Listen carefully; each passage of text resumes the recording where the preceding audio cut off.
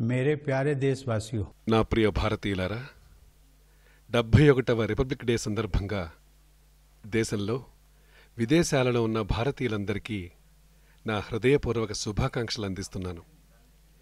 సుమారు ఏడు శతాబ్దాల క్రితం జనవరి ఇరవై ఆరవ తేదీన మన రాజ్యాంగం అమలులోకి వచ్చింది. దానికన్నా ముందే ఈ తేదీకి ఒక విశిష్టత కలిగింది. పూర్ణ స్వరాజ్య సంకల్పం తీసుకున్న తర్వాత మన భారతీయులందరూ పంతొమ్మిది వందల ముప్పై నుంచి పంతొమ్మిది వందల నలభై ఏడు దాకా ప్రతి ఏటా జనవరి ఇరవై ఆరవ తేదీని సంపూర్ణ స్వరాజ్య దినోత్సవంగా జరుపుకున్నారు. అందుకనే పంతొమ్మిది వందల యాభైలో ఇదే చారిత్రాత్మకమైన రోజున భారతీయులందరూ రాజ్యాంగంలోని ఆదర్శాల పట్ల తమ విశ్వాసాన్ని తెలుపుతూనే ఈ రోజును గణతంత్ర దినోత్సవంగా జరుపుకుంటూ వచ్చారు. అప్పట్నుంచి ప్రతి ఏటా జనవరి ఇరవై ఆరవ తేదీని గణతంత్ర దినోత్సవంగా జరుపుకుంటున్నాం. ఆధునిక స్వతంత్ర భారతంలో మూడు వ్యవస్థలున్నాయి. ఒకటి శాసన వ్యవస్థ రెండవది కార్యనిర్వాహక వ్యవస్థ మూడవది న్యాయ వ్యవస్థ. ఈ మూడు వ్యవస్థలు స్వతంత్రమైనప్పటికీ ఒకదానిపై ఒకటి ఆధారపడి ఉన్నాయి. అయితే వాస్తవానికి ప్రజలు కలిస్తేనే ఒక దేశం అవుతుంది. మనం మన భారత ప్రజలే అంటే మనమే గణతంత్ర వ్యవస్థను నెలకొల్పాం. నడిపిస్తున్నాం. మన ఉజ్వల భవిష్యత్తు కోసం నిర్ణయాలు తీసుకునే శక్తి మన భారతీయుల్లోనే నెలకొంది. మన రాజ్యాంగం స్వతంత్ర ప్రజాస్వామ్య ప్రక్రియలో భాగంగా మనకు ఒక పౌరుడిగా అనేక అధికారాలను అందించింది. అయితే రాజ్యాంగ పరిధిలోనే మనం కొన్ని రకాల బాధ్యతలను స్వీకరించాం. న్యాయం స్వాతంత్ర్యం సమానత్వం సౌభ్రాతృత్వం లాంటి మౌలికమైన ప్రజాస్వామిక ఆదర్శాలకు మనం కట్టుబడి ఉన్నాం. దేశంలో నిరంతర ప్రగతి సాగేందుకు ప్రజలలో పరస్పరం సౌభ్రాతృత్వం నెలకొనేందుకు ఇదే తగిన మార్గం. జాతిపిత మహాత్మాగాంధీ జీవితంలోని విలువల్ని అనుసరించటం ద్వారా రాజ్యాంగంలోని ఆదర్శాలను అనుసరించే ప్రక్రియ సులభమైపోతోంది. ఇలా చేయటం ద్వారా మనమందరము మహాత్మాగాంధీ నూట యాభైవ జయంతికి ఒక సార్థకతను అందించినట్టు అవుతుంది. నా ప్రియ భారతీయులారా ప్రజా సంక్షేమం కోసం కేంద్ర ప్రభుత్వం ఎన్నో ప్రచార కార్యక్రమాలను చేపట్టింది. ముఖ్యంగా చెప్పాలంటే ప్రజలందరూ కలిసి స్వేచ్ఛగా తమంతట తాము ముందుకొచ్చి ప్రభుత్వం చేపట్టిన ప్రచార కార్యక్రమాలను ప్రజా కార్యక్రమాలుగా తీర్చిదిద్దారు. ప్రజల భాగస్వామ్యం వల్ల స్వచ్ఛ భారత్ కార్యక్రమం అతి కొద్ది సమయంలో చాలా శక్తివంతమైన రీతిలో అమలు కాగలిగింది. అందులో మనకు విజయం లభించింది కూడా. ఇలాంటి భాగస్వామ్య వైఖరి ఇతర క్షేత్రాల్లో కూడా మనకు గోచరిస్తోంది. ఉదాహరణకు వంట గ్యాస్ రాయితీలను వదులుకోవటం డిజిటల్ చెల్లింపు కార్యక్రమాలను ప్రారంభించటం ఇవన్నీ ముఖ్యమైనవి. ప్రధానమంత్రి ఉజ్వల పథకం సాధించిన విజయాలు మనకందరికీ గర్వకారణం. లక్ష్యాన్ని పూర్తిగా అందుకుంటూ ఎనిమిది కోట్ల మంది లబ్ధిదారులు ఈ పథకంలో చేరారు. ఇలా చేయటం ద్వారా నిజంగా అవసరం ఉన్నవారికి గ్యాస్ లభ్యమైంది. ప్రధానమంత్రి సహజ్ బిజిలీ హర్ఘర్ యోజన అంటే సౌభాగ్య యోజన అనే పథకం ప్రజల జీవితాలలో కొత్త వెలుగులను తెచ్చింది. ప్రధానమంత్రి కిసాన్ సమ్మాన్ నిధి ద్వారా పద్నాలుగు కోట్ల కన్నా ఎక్కువ మంది రైతు సోదర సోదరీమణులకు ప్రతి ఏటా ఆరు వేల రూపాయల ఆదాయం లభించే కార్యక్రమం ప్రారంభమైంది. దీనివల్ల మన అన్నదాతలకు గౌరవంగా బ్రతికే అవకాశం లభించింది. తీవ్రమైన నీటి కొరతను తీర్చేందుకు వీలుగా జలశక్తి మంత్రిత్వ శాఖను ప్రారంభించాం. అలాగే జల సంరక్షణకు నిర్వహణకు అత్యధికమైన ప్రాధాన్యాన్ని అందించాం. జలజీవన్ మిషన్ కూడా స్వచ్ఛ భారత్ అభియాన్ లాగే ఒక ప్రజా ఉద్యమంగా మారిపోయింది. ప్రభుత్వంలోని పథకాలు ప్రక్రియల వెనుక లబ్ధిదారుల సంక్షేమ భావన దాగి ఉంటుంది. అన్నింటికన్నా ముందు మన దేశం ముఖ్యం అనే భావన అణిగుంటుంది. జీఎస్టీ అమలు ద్వారా ఒకే దేశం ఒకే పన్ను ఒకే విపణి అనే భావన ప్రజలలో పాతుకుపోయింది. అలాగే ఈనాం పథకం ద్వారా కూడా ఒక దేశానికి ఒకే మార్కెట్ అనే ప్రక్రియ స్థిరంగా మిగిలిపోయింది. దీనివల్ల రైతులకు ప్రయోజనం చేకూరింది. మనమంతా దేశంలోని ప్రతి ప్రదేశం సంపూర్ణంగా వికసించాలని ఆలోచిస్తున్నాం. దానికోసమే మనం అడుగులు వేస్తున్నాం. జమ్మూ కాశ్మీర్ కానివ్వండి లడాఖ్ కానివ్వండి ఈశాన్య రాష్ట్రాలు కానివ్వండి లేదా హిందూ మహాసముద్రంలో ఉన్న ద్వీప సమూహాలు కానివ్వండి అన్నింటి వికాసమే మన ధ్యేయం. దేశ ప్రగతి కోసం సుదృఢమైన ఆంతరంగిక భద్రతా వ్యవస్థ చాలా అవసరం. అందువల్లనే కేంద్రం ఆంతరంగిక భద్రతకు అగ్రతాంబూలం అందించింది. దీనిని మరింత దృఢతరం చేసేందుకు అనేక చర్యలను చేపట్టింది. ఆరోగ్యం శిక్షణ సౌకర్యాల మెరుగు అనేది సుపరిపాలనకు ఒక పునాది లాంటిది. గత ఏడు దశాబ్దాలుగా ఈ రంగాలలో మనం సుదీర్ఘ ప్రయాణం చేశాం. ప్రభుత్వం అద్భుతమైన పథకాల ద్వారా ఆరోగ్య రంగానికి మరింత చేయూతనందించింది. ప్రధానమంత్రి జన ఆరోగ్య యోజన ఆయుష్మాన్ భారత్ వంటి కార్యక్రమాలు పేదల సంక్షేమం పట్ల ప్రభుత్వానికున్న సంస్పందనను తెలియచేస్తున్నాయి. నిజంగానే పేద కుటుంబాలకు ఆరోగ్య సేవలు అందుతున్నాయి. మనకందరికీ తెలిసిన విషయం ఏమిటంటే ఆయుష్మాన్ భారత్ ప్రపంచంలోనే ప్రజారోగ్యానికి సంబంధించిన ఒక మహత్తరమైన పథకం. సాధారణ పేద కుటుంబాలకు ఆరోగ్య సేవల్ని అందించటం ఉత్తమమైన చికిత్సను అందచేయటం ఇవన్నీ ఈ పథకంలో భాగాలే. జన ఔషధి యోజన ద్వారా అతి తక్కువ ధరలకు నాణ్యమైన మందులు ప్రజలకు పంపిణీ చేసే కార్యక్రమం ప్రారంభమైంది. దీనివల్ల మధ్యతరగతి కుటుంబాల్లో వైద్య సేవల కోసం చేసే ఖర్చులు బాగా తగ్గిపోయాయి. ప్రియ భారతీయులారా ప్రాచీన కాలంలోని అత్యుత్తమమైన విద్యా వ్యవస్థకు నలంద తక్షశిలా విశ్వవిద్యాలయాలు పునాదులు వేశాయి. మన దేశంలో బలం కీర్తి డబ్బు వీటన్నింటికన్నా జ్ఞానమే ముఖ్యమని భావిస్తారు. భారతీయ సాంప్రదాయంలో విద్యారంగానికి చెందిన సంస్థలను జ్ఞానార్జన చేసే సంస్థలుగా భావించారు. వాటిని విద్యామందిరాలుగా గుర్తించారు. సుదీర్ఘకాలం దాకా బ్రిటిష్ పాలకుల వలస విధానం వల్ల మనం ఎన్నో ఇబ్బందులను ఎదుర్కొన్నాం. వాటి నుండి బయటపడాలంటే విద్య ఒక్కటే బలమైన సాధనంగా పరిణమించింది. ఆధునిక విద్యా వ్యవస్థకు పునాదులు వేసే కార్యక్రమం స్వాతంత్రం వచ్చిన వెంటనే ప్రారంభమైంది. ఆ సమయంలో మన వనరులు చాలా పరిమిత సంఖ్యలో ఉన్నాయి. అయినప్పటికీను విద్యారంగంలో మనం ఎన్నో విజయాలు సాధించాం. దేశంలోని ప్రతి బాలకుడు యువకుడు ఇలా ఎవ్వరూ కూడా విద్యకు దూరం కాకూడదనేదే మన లక్ష్యం. దీనికోసం మన విద్యా ప్రణాళికలలో తగు మార్పులు చేసుకుంటూ విద్యా వ్యవస్థను ప్రపంచ స్థాయికి ఎదిగేటట్టు చేయటంలో మనం నిరంతరం ప్రయత్నం కొనసాగించాలి. ఇస్రో సాధించిన విజయాలు మన దేశంలోని భారతీయులందరికీ గర్వకారణాలు. తన మిషన్ గగన్యాన్తో ఇస్రో ప్రగతి పథంలో ముందుకు దూసుకుపోతోంది. ఈ సంవత్సరం భారతీయ మానవ్ అంతరిక్షయాన కార్యక్రమంలో ప్రగతి సాధిస్తామని మనమందరం ఆశతో ఎదురు చూస్తున్నాం ఇదే సంవత్సరం టోక్యోలో ఒలింపిక్ క్రీడలు ప్రారంభం కానున్నాయి.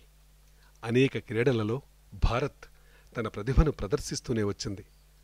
కొత్త తరానికి చెందిన మన క్రీడాకారులు గత కొన్ని సంవత్సరాలుగా జరిగిన క్రీడా పోటీలలో మన దేశ ఖ్యాతిని ప్రపంచం నలుమూలలకు వ్యాపింపచేశారు. రెండు వేల ఇరవై సంవత్సరం క్రీడలలో భారతీయ క్రీడాకారులు ఉత్సాహంగా పాల్గొననున్నారు. వారందరికీ దేశంలోని కోట్లాది మంది ప్రజల శుభాకాంక్షలు అందుతున్నాయి.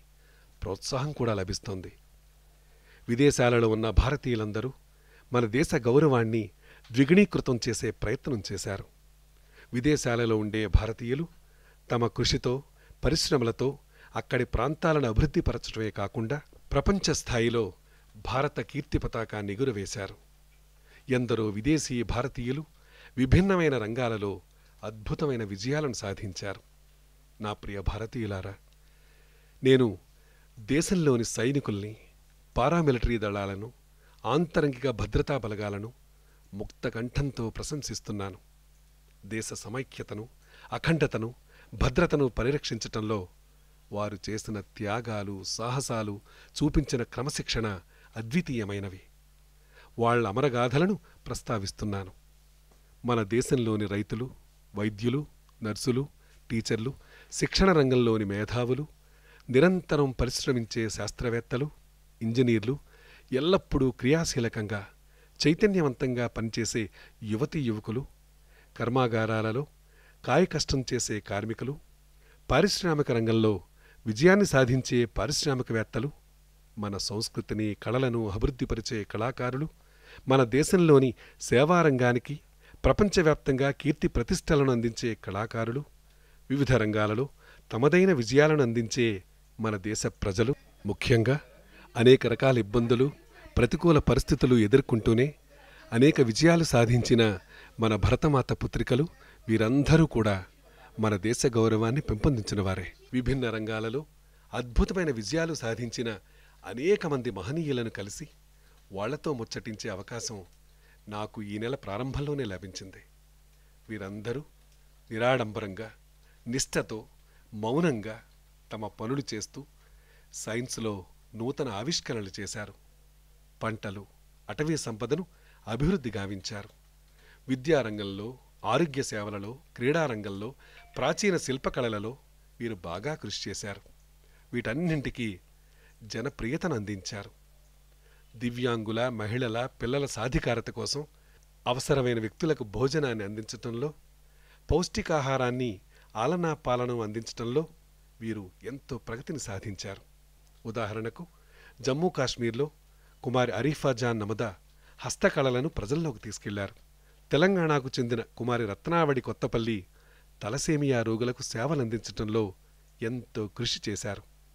కేరళకు చెందిన శ్రీమతి దేవకీ అమ్మ వ్యక్తిగతంగా కృషి చేసి వనసంపదను పెంపొందించారు.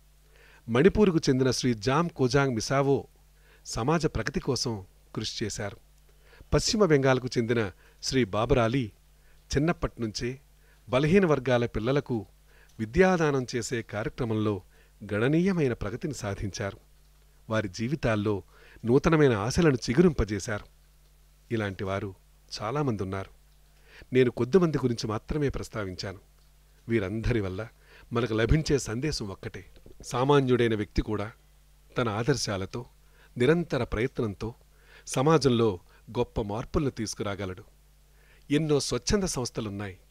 ఇవన్నీ ప్రభుత్వంతో చేతులు కలిపి దేశ ప్రగతి కోసం తమవంతు ప్రయత్నాలను అందిస్తూనే ఉన్నాయి. నా ప్రియ భారతీయులారా మనం ప్రస్తుతం ఇరవై ఒకటవ శతాబ్దంలోని మూడవ దశకంలోకి ప్రవేశించాం. ఈ దశాబ్దం నవభారత నిర్మాణానికి సంబంధించింది. అలాగే మన దేశంలో కొత్త తరం ఆవిర్భావానికి సంబంధించిన దశాబ్దం ఇది. ఈ శతాబ్దంలో పుట్టిన యువకులు ముందుకు సాగిపోతూ జాతీయ జనజీవన స్రవంతిలో క్రియాశీలకంగా తమ వంతు ప్రయత్నాలను అందిస్తున్నారు. కాలం గడుస్తున్న కొద్దీ మన స్వాతంత్ర సంగ్రామంలో ప్రత్యక్ష సాక్షులుగా ఉన్న ప్రజలు క్రమక్రమంగా తొలగిపోతున్నారు. అయినప్పటికీ అలనాటి స్వాతంత్ర సంగ్రామ స్ఫూర్తి మాత్రం కలకాలం నిలిచిపోతుంది. సాంకేతిక రంగంలో జరిగిన అసాధారణమైన ప్రగతి వల్ల నేటి యువకులకు అద్భుతమైన సమాచారం అందుతోంది. దీనివల్ల వాళ్ళల్లో అపారమైన ఆత్మవిశ్వాసం కలుగుతోంది. మన ముందు తరాల వ్యక్తులు మన దేశంలోని మౌలికమైన విలువలపై అపారమైన నమ్మకాన్ని కలిగి ఉంటారు. మన యువతి యువకులకు అన్నింటికన్నా దేశమే ముఖ్యమైంది. ఈ యువతరంలో నాకు ఒక ఉజ్వలమైన భారతం కనిపిస్తోంది. జాతి నిర్మాణంలో ప్రగతిలో మహాత్మాగాంధీ సిద్ధాంతాలు నేటికిని ఆదర్శప్రాయమైనవి. గాంధీజీ ఆదర్శాలైన సత్యం అహింస సందేశాల గురించి నిరంతరం మనం మననం చేస్తూ ఉండాలి.